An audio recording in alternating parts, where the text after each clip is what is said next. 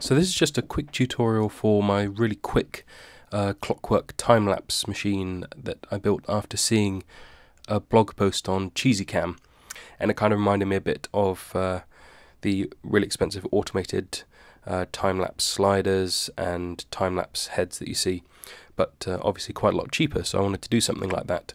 Now I don't have a little GoPro and the only thing I can really do time-lapse photos with is my uh, 550D. So I wanted something a little bit uh, bigger than the small egg timer that he was using. So I had a look around and I managed to find uh, sort of a big kitchen timer which I got from Maplins, and I'll put a link to the actual model that I got in the description below if you did want to use that build. But pretty much anything uh, that's reasonably large uh, more than anything to create a reasonably solid base will do, I imagine. But uh, if your camera falls off and breaks, it's not uh, not my fault. This is probably not a good thing to do on a tripod and anywhere really where the camera has an opportunity to fall on the floor.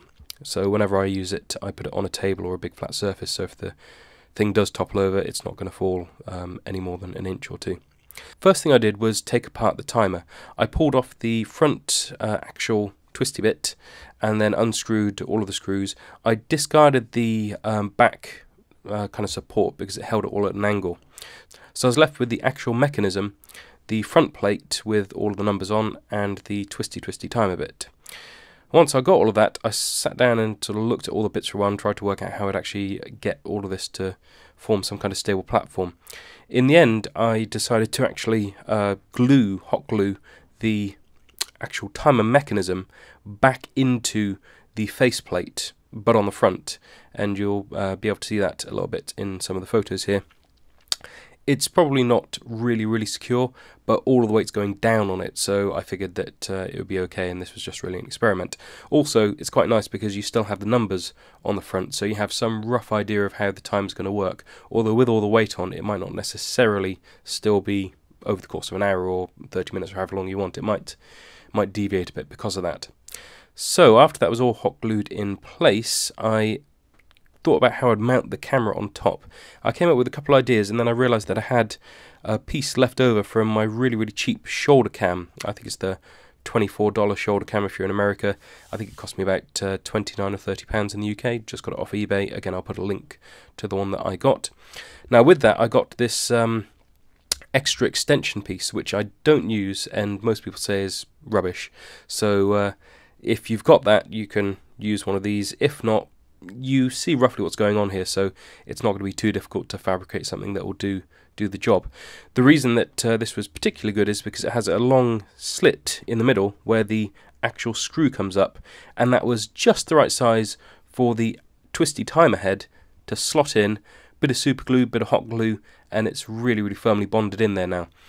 I still have a little bit of play in the screw, so that actually means that I can move the camera forwards or backwards to change the center of gravity um, once it's on board. That's actually quite good because if you're using different size lenses, then the balance is going to be a little bit off and it might be very unstable. But I've found uh, with the Tokina uh, 11 to 16 that it actually sits on very nicely and is uh, pretty firm.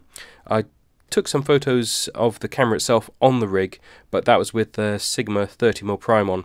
Again, I was able to move it around and get it into a fairly solid position, although the prime for most applications would probably be a little bit um, too narrow uh, with its field of view, so I'll probably use a wider angle lens.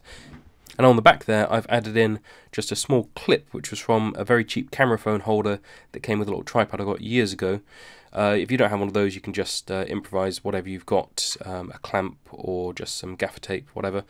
That's just for holding the actual time-lapse timer and keeps all the wires out of the way. If anything touches the camera or the time-lapse timer or the wire that's connecting the camera to the time-lapse timer, it will probably stop. I had this in one of the time lapses that I did. It just stopped it dead and it was just a tiny, tiny catch it made on the table. So it's good to keep it all up and out of the way. I'll put a little video of a simple time lapse I did in the kitchen, and yeah, hopefully that'll give you a good idea of the kind of effect that you can get with this. Hope this video has been useful, and uh, if your expensive camera and lens setup falls on the floor because you try and build this, I relieve myself of all responsibility because it's not very stable. So, good luck.